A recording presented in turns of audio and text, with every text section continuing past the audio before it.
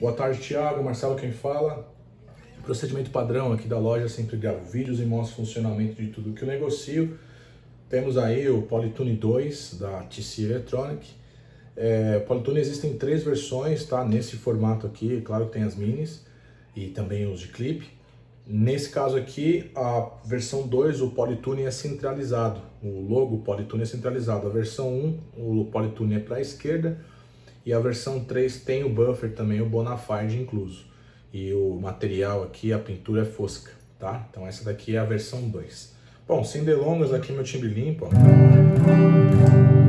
É guitarra, pedal e amp, tá? Não tem mais nada no meio aí. Afinando aí. Não tem muito o que mostrar de afinador, né? Coisa mais simples possível, né?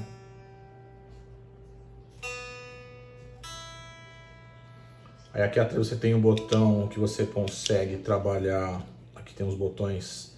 Você trabalha se vai ser guitarra ou baixo e são dois tipos para cada é, modelo no caso, né? E aqui eu tenho um outro switchzinho, deixa eu ver se é aqui é, que é, deixa eu vir com essa mão direita, fica mais fácil.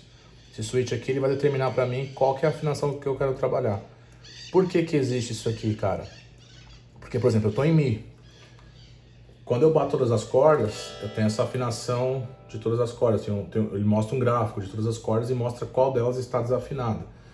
Se eu coloco em Mi bemol, por exemplo, aqui, ó, tá vendo? Ó, e faço isso, ele já não pega todas as cordas. Por quê? Porque ele vai procurar uma afinação no qual todas as notas estejam em Mi bemol, e não é o caso aqui.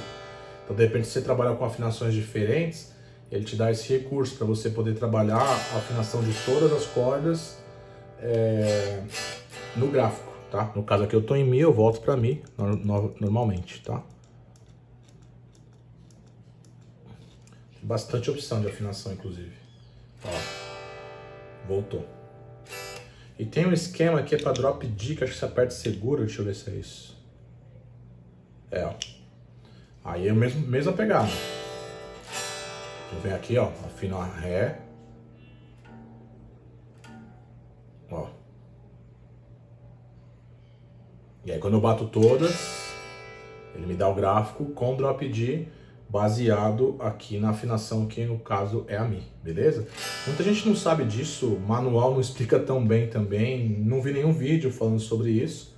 E como esse vídeo, como esse canal aqui é alimentado por vídeos de equipamentos que eu vendo, mas corriqueiramente as pessoas se inscrevem, perguntam, têm dúvidas, então fica aí a dica para quem não sabe como trabalhar com o Polytune. É uma coisinha simples que na maioria dos casos pode ajudar bastante aí o pessoal. Beleza? Fico por aqui, a ideia do vídeo é totalmente técnica, não é fazer um review propriamente, mas mostrei todas as funções que ele tem, beleza? Um abraço e até a próxima.